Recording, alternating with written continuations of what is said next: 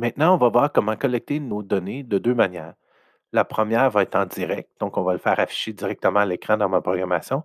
Et la deuxième, on va le voir comment on peut euh, télécharger le programme sur la brique, aller exécuter mon programme, puis ensuite revenir connecter ma brique pour pouvoir aller chercher les données euh, qui ont été euh, collectées. Donc, tout d'abord, j'ai déjà placé mon robot à une distance de 8 cm du mur. Et maintenant, je suis prêt à pouvoir lancer ma programmation. Pour avoir mes données en direct, ce que je vais faire, je vais aller au bas de mon écran, ici. Je vais cliquer sur les chiffres que je peux voir et je vais aller dans un visionnage ici. Le visionnage direct, ce qui va me permettre de faire, c'est d'envoyer directement ma programmation à mon robot et de visualiser les données en temps réel. Donc maintenant, je suis prêt, je l'ai fait. Je vais appuyer sur le petit triangle pour envoyer ma programmation pour la lancer. Et là, je vais voir, mon programme va s'activer et je vais pouvoir voir euh, mes données apparaître à l'écran au fur et à mesure qu'elles rentrent. On voit la programmation est terminée. Euh, là, ici, il va y avoir des ajustements automatiques pour pouvoir euh, maximiser l'affichage de mon graphique. Et là, je vois en direct, j'ai un graphique et je peux aller voir mes données. Il y a plusieurs manières de pouvoir afficher le graphique. Donc ici, c'est une ligne. On pourrait l'avoir sous forme de ligne brisée, qui est même, euh, le même style ici.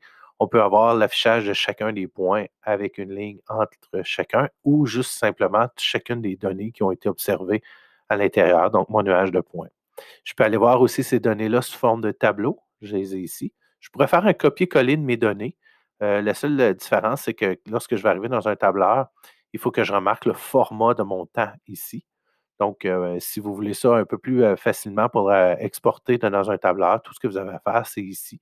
Aller dans Exporter. Et lorsque vous allez l'exporter, il va vous générer un format CSV que vous allez pouvoir facilement ouvrir avec un tableur, le tableur de votre choix. Et pour la dernière partie, supposons que je voudrais envoyer mon programme dans ma brique, aller exécuter euh, mon programme avec euh, ma brique euh, ailleurs, donc je n'ai pas accès en direct à mon ordinateur.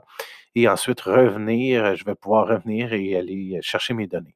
Donc, pour le faire, ce que je vais faire, je vais aller changer mon mode ici en bas pour revenir à un mode téléchargement.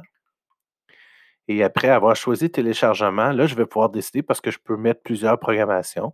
Dans celui-là ici, j'ai décidé, je vais décider de le mettre en la position 2, donc mon deuxième euh, programme dans ma brique que je vais exécuter. Donc, ce que je vais faire après ça, je vais aller le télécharger et je vais aller exécuter mon programme et je vais revenir ensuite aller chercher mes données. Donc ici, je suis de retour. J'ai exécuté mon programme sur ma brique. Je vais revenir, je vais venir connecter ma brique de nouveau. Ça peut être avec le câble USB ou tout simplement avec euh, le Bluetooth. Et là, maintenant, j'ai deux endroits que je peux retrouver mes données. Je peux euh, venir ici, dans les informations de ma brique. Donc, je vais aller dans Données. Et là, je vais voir hein, le nom de Blue qui était euh, le bleu de mes données. J'ai ici. Je pourrais tout simplement les exporter en CSV pour euh, pouvoir les voir dans un, un tableur. J'ai aussi la possibilité, si je reviens ici, à ouvrir ma fenêtre de mon graphe, comme on avait tantôt, et si je le mène plein écran, je peux aller importer mes données. Donc, je vais venir sur mon hub, aller chercher mes données et je vais les importer. Et là, je vais pouvoir faire une analyse de mes données que j'ai ici en direct ou tout simplement encore les exporter en format CSV pour pouvoir les utiliser dans un tableur.